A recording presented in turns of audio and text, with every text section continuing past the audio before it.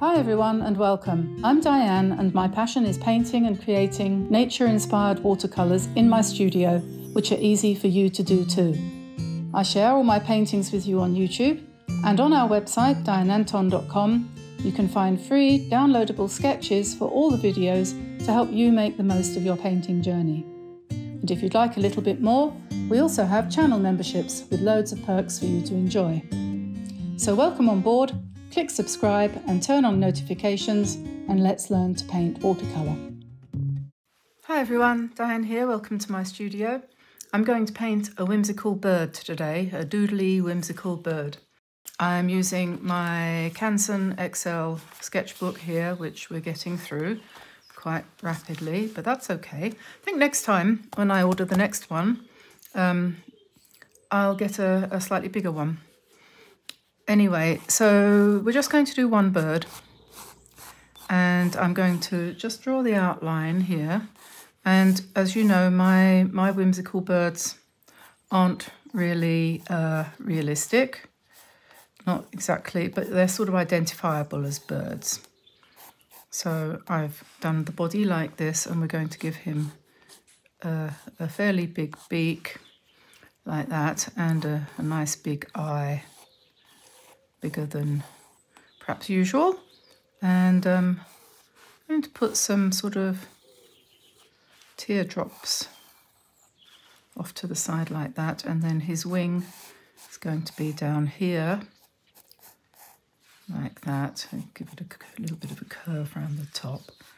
And then um, some feet down here, just one foot two feet. And then let's imagine that he's standing on a, a wire kind of thing, shall we? Now, um, let me see, let's find a brush. This is a round size 7 Drawwell brush. And I'm going to do the background colour first. So I think we'll start off with something fairly light. I'm using the Kuretake colours here. Um, Kuretake Gansai Tambi colours. And let's put in a nice um, wash leaving holes. I'm going to leave holes. And the reason why I'm going to leave holes is because I want some areas where I can put in, for example, blue or yellow, sorry, not yellow, blue or red without it necessarily being um, tainted or tinted, changed by the colour underneath. So we're going to gradually add orange to the yellow. This is cadmium orange and we'll put some of that in and uh, don't need to worry too much about leaving gaps on the wing. Um, well, I don't know quite exactly how this is going to go. So we're just putting in a nice lot of red here. That's uh, rose madder and uh, a bit more orange down the back here on the wing. I'm painting this fairly thickly. Um, then the under, underneath, first of all, I'm going to pop in some a sort of base coat of grey and bring that up fairly close to the wing. It doesn't matter if it bleeds a little bit. Just make it a bit more interesting. Um, and then I'm going to get some turquoise. Some of these colours are quite opaque, which is quite nice just drop in some blue like this and let that sort of wishy-washy around. And then maybe a little bit of violet. This is, uh, what is that colour? That is um, cobalt violet, that's right. And a bit more blue.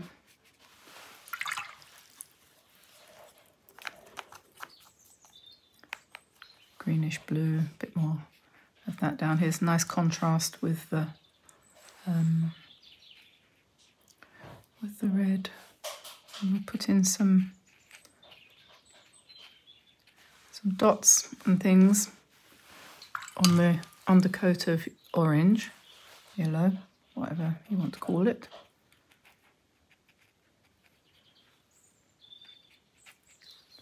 Let's paint his beak in red.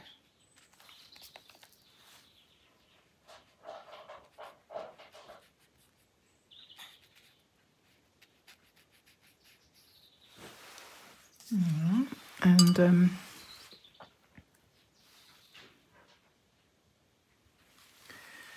let's do these. Uh, this is kind of like his, um, what do you call it? Crest or no, what do you call it, the thing on the top of a cockerel's head? Cra um, I always forget this word. Uh, it seems to be that particular word is blocked in my head when I'm painting because I had this problem before. I'll, I'll, I'll remember it in a minute.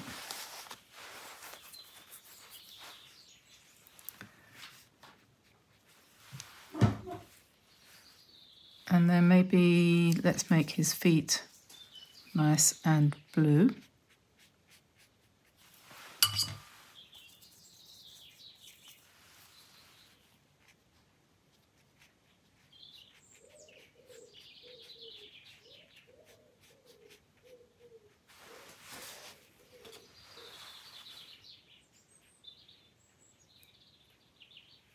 once we've got all the colours into place, then we can um,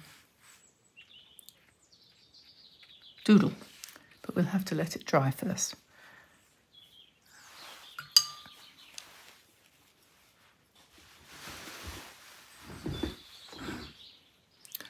Uh, let's do some more of these things down here. Let's do them in blue.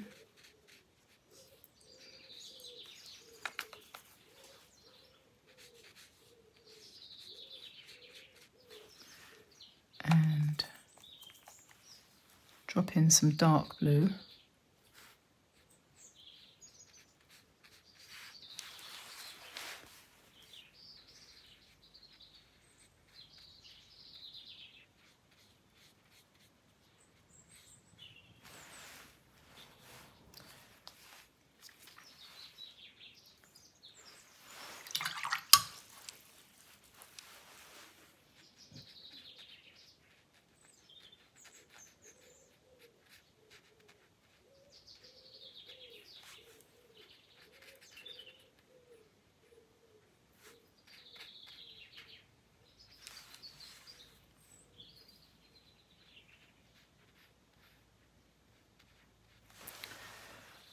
Okay, I think uh, let's just put a little bit more red in the middle of these here.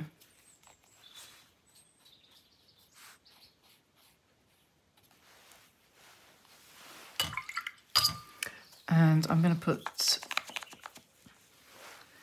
a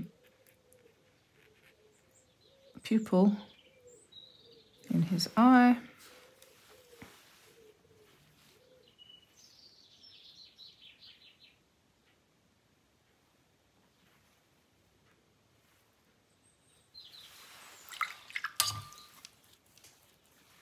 And I'm going to let it dry. Okay, so he's dry, I think, and I'm going to use for next, next stage, being as this is obviously a multimedia, uh, mixed media thing, um, I've got a box of Inktense pencils that a kind lady sent me, and I'm going to use those for the next step, I think. And what I'm going to do is just basically doodle with these. So, so I'm going to be picking up various colours and just going over what I've already done. So for example, doing extra lines and circles and, you know, you name it.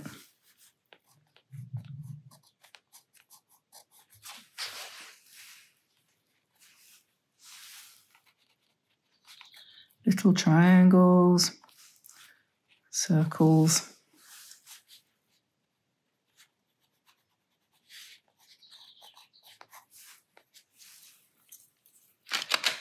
These paints, these pencils are um, watercolor watercolor pencils, so they will bleed when I touch them with paintbrush. Go darker, like that.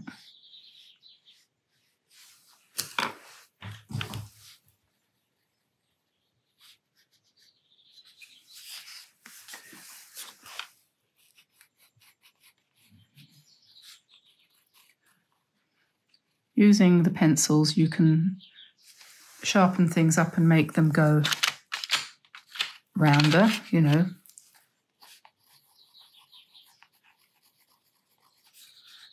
Much more easily than you can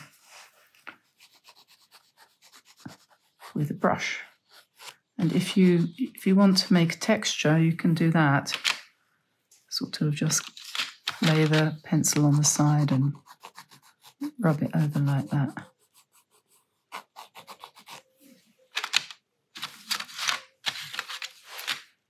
That's black, I don't necessarily want black.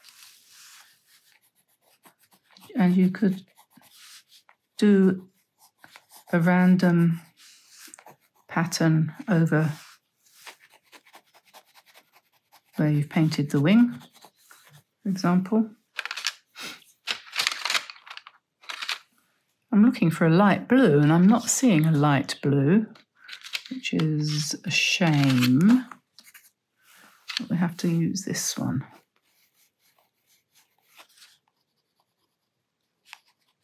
So we go inside those circles.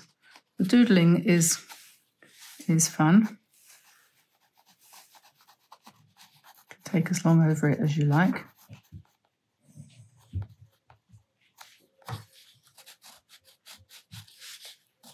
It's quite nice to go around the outside edges, I think.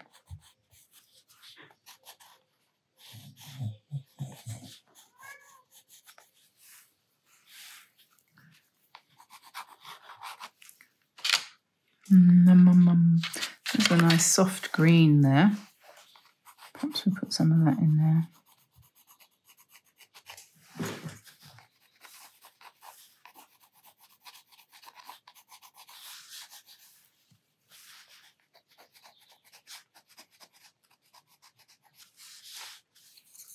And then when you get to a certain point,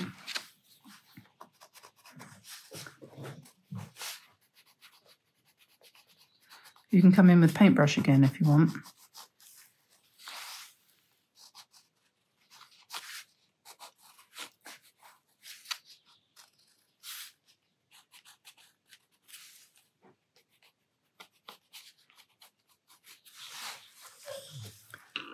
Uh, blue, a little bit of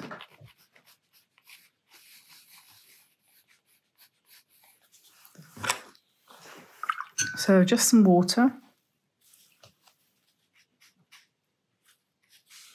And then we can sharpen up some of them, make them a bit darker.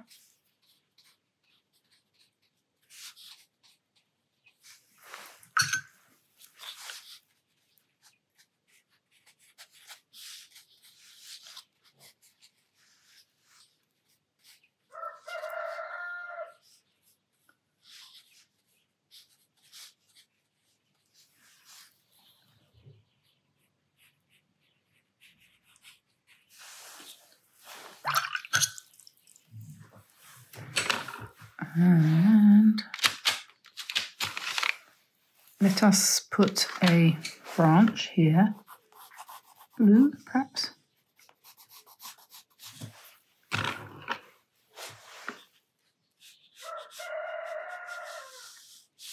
Gabriel's out.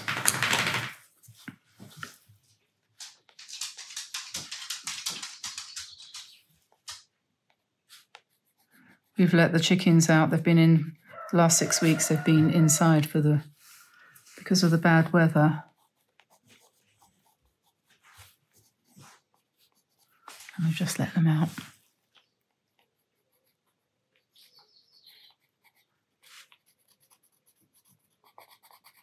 So he's making a nice noise.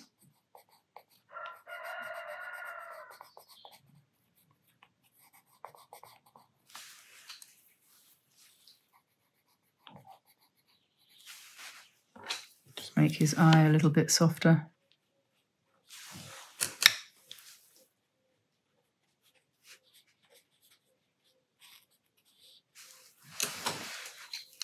Okay, and we could now go, if we like, to some white pen.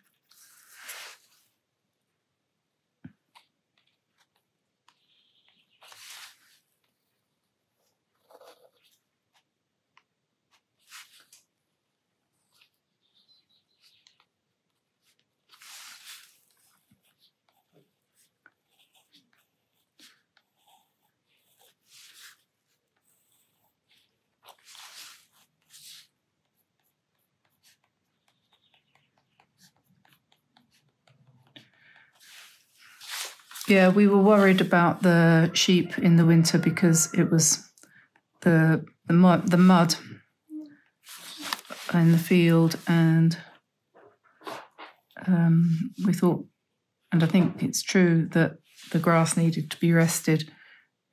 So, because we had such a terrible drought last year with the heat wave and everything, and the grass was really badly damaged. So this year, for the first year, we know how to do it before.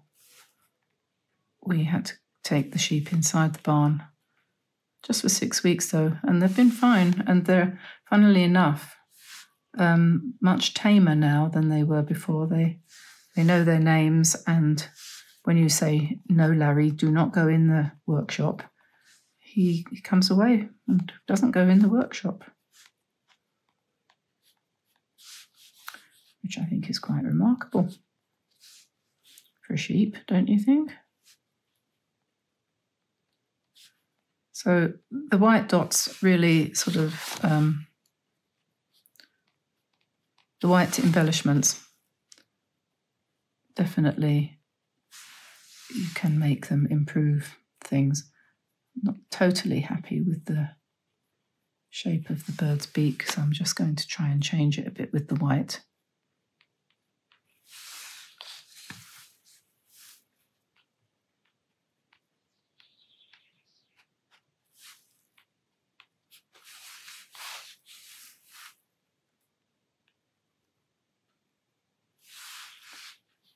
Okay.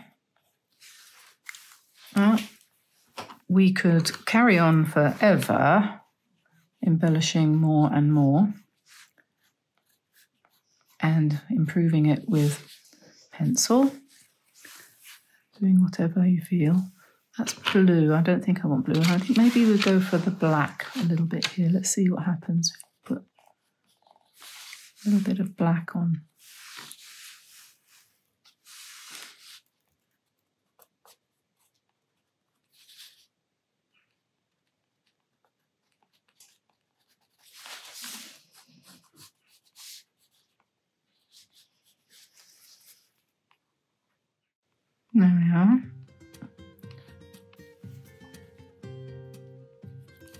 Hope you enjoyed that. Just to remind you, I used watercolour on a multimedia, mixed media book, Kuretake paints, size 7 round brush, and um, then some Inktense pencils to give me a nice textured look to the bird. So, something you can't really do so easily with the watercolour. So, I think I'm quite happy with that. I think. I'm not sure I like the very large eye. That's an experiment. Um, don't know if I can change it, I suppose. Probably could.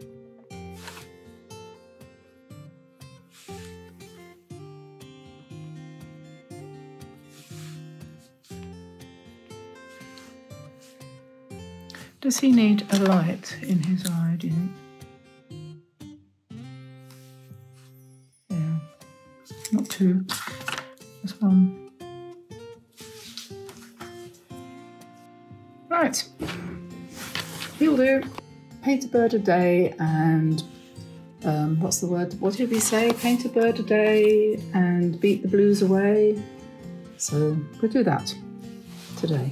I'll say bye bye for now. Cock a doodle doo, and bye bye from me to you.